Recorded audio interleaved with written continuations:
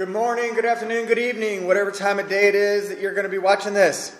Um, today, I want to talk to you about what it really takes to accomplish your goals. And it really comes down to one thing it's our logo, it's our slogan, it's everything that we embody here at the Fitness Edge. It's about push yourself. If you go in the gym and go through the motions and lift the same weights and do the same exercise and just, you know, don't get out of your comfort zone, you are never, ever going to reach any of the fitness goals that you set yourself for. Let's take an example. You go to a mainstream gym, and I used to work out at them, I used to run them, and you see the same guys and the same ladies come in and do the same thing. The women typically go and they get on the treadmill and they put that treadmill at an incline really high and they hold on and they just walk and walk and walk and walk and walk and walk and walk for an hour, an hour and a half. It's amazing. And they wonder why they're not losing weight. And guys, they go into the gym, it's Monday, what do they do? They get down, they do a bench press. 225. Three sets of 10. Yeah, they look pretty strong. But has their body changed at all? Has their strength changed at all? Uh, have they ever pushed themselves to do 235? 245? What about legs? Have you ever pushed yourself so hard on a leg workout that you literally wanted to fall asleep in exhaustion when it was over? Probably not.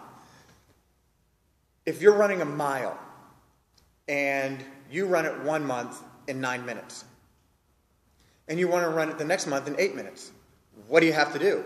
Do you have to just go out and run a mile every day and think that that's going to improve your time? No, you've got to push yourself to go a little bit faster to push a little bit harder, to finish a little bit sooner than you did the week before the month before. Nutrition. Nutrition can be easy, but it never is. You have to push yourself away from the table. You have to push yourself to count those calories, to weigh your food, to measure things out. You got to push that little extra bit if you want to succeed in your fat loss or your performance goals. Let's take a high school athlete. They want to be a college athlete or they want to be a pro athlete. They're going to practice, they're going home, they're going to practice, they're going home. But are they doing anything else to push their goals towards completion? Are they going to the gym after practice is over? Are they going to the gym before school starts because they don't have time? They have too much homework. They got, you know, two hour practice and they want to see their family. So you're getting up early and you're going to the gym and working out in the morning?